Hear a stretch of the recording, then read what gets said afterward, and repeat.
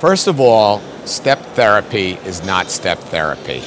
It's fail first.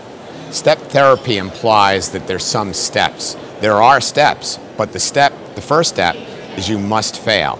So you put the patient on a drug that basically the patient may fail on a drug that may not be the drug that the oncologist in concert with the patient decided this is the best drug.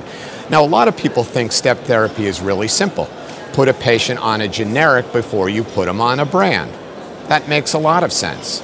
But the problem here is in oncology, we don't have many situations of where there is a generic. Yes, we will have situations of where there is a biosimilar. I think without even forcing anybody to do it, oncologists will start using biosimilars. But the problem is, you're looking at in situations where we see that it's not about an interchangeable agent, it's about a totally different alternative way of treating. And the other thing is, is that first drug the least expensive drug, or is it the most profitable drug for the insurer or the PBM that's saying that has to be the first step to fail first.